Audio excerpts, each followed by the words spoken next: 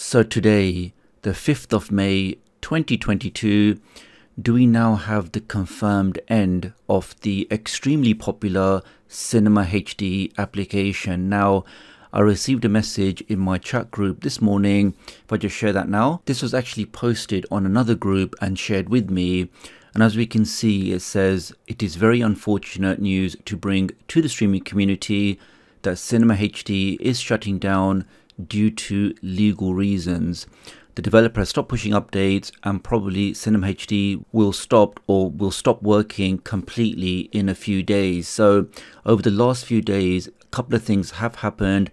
The official Facebook group for this application has been shut down and also the GitHub repository where the official application was being pulled from has also been taken offline. So in this video today, let me show you exactly what's happened to this application.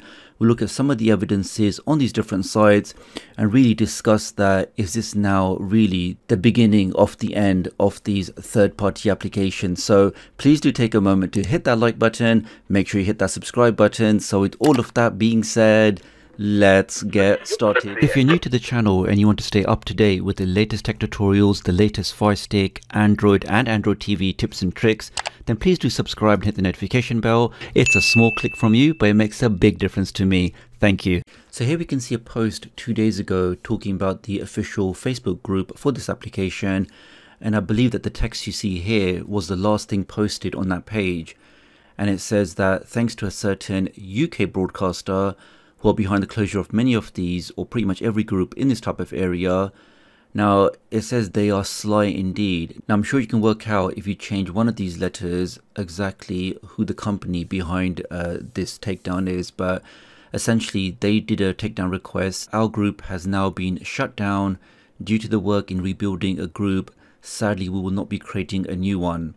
As of now, access to the website resources is being turned off and also unlinked disabled. We thank each and every member of the last four years and we hope to see you around elsewhere. And the way you can verify that the group is definitely gone because if, if you do a search on Google, this was actually the official group which was approved by the developer on Facebook. And if you now click on that, you get the message that this content is not available. So this is very similar to what we saw for FileLinked when FileLinked application went offline.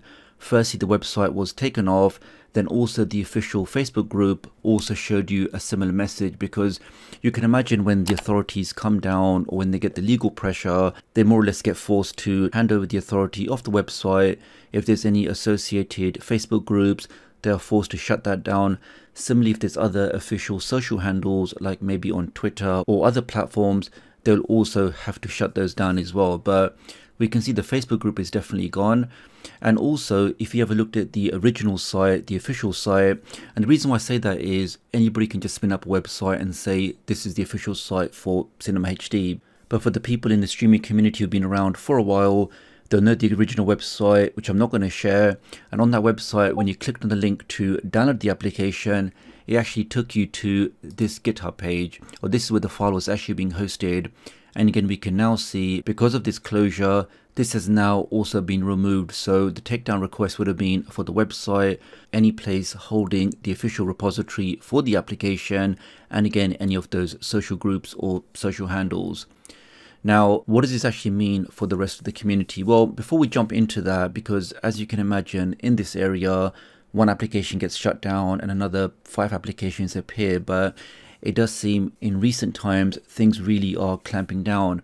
And I'm sure you saw this article on TorrentFreak that the US court has ordered every ISP in United States to block access to these illegal streaming sites. So I mean, to have that kind of authority to block any website that's deemed as illegal across every ISP just shows you, you know, how big or how powerful these big companies are.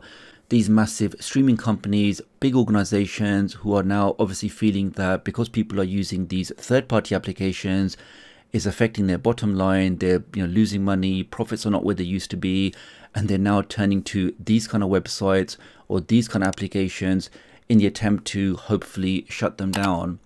Now quickly just whiz through this and here we can see some of the ISPs that are going to be impacted with this new court order. And here we can just see that when your website does get taken offline, you know, if it is by certain authorities, they normally replace what you see on the homepage with a warning saying that this website has now been taken down due to copyright or due to the website hosting or showing copyright content.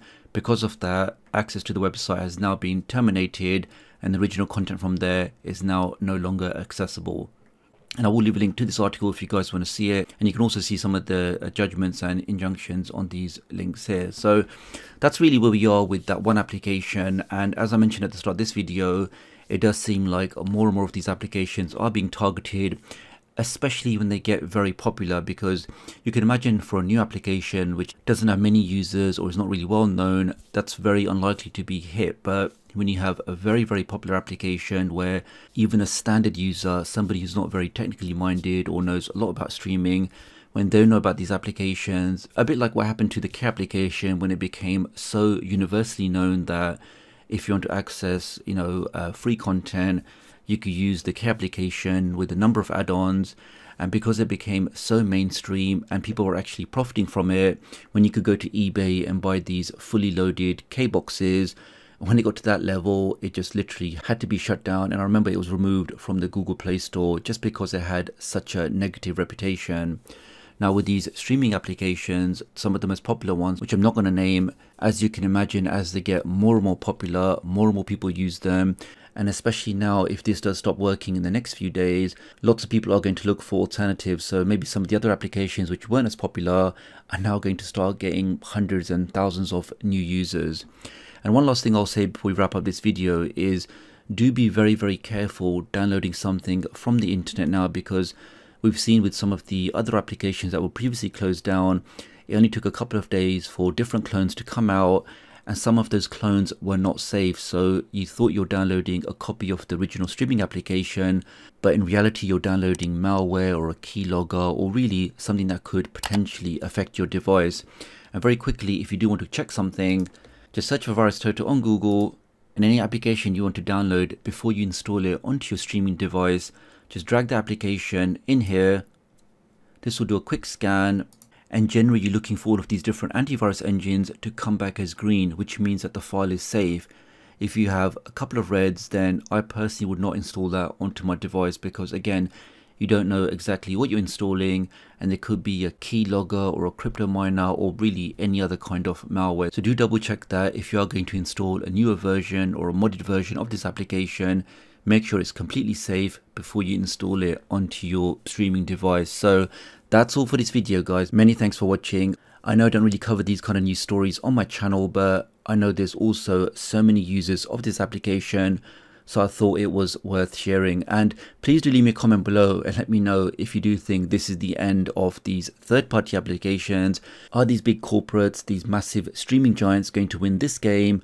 Or really it's just a case of one application down, five new applications pop up. So do leave me a comment below and let me know and I'll hopefully catch up with you guys real soon. Thanks.